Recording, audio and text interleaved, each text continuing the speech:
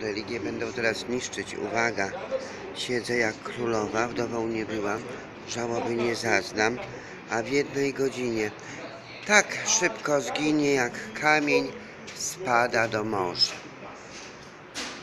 Murzyn to pojmie, ale Moherowi nie chcą, bo to jest jakby im nie na rękę. Co one będą gadać o swojej religii? One w ogóle wolą nic nie gadać i nic nie wiedzą zresztą. Ani o Biblii, ani o religii. Nic, nic. Tak diabeł ich wyrolował. Tak diabeł ich wykołował.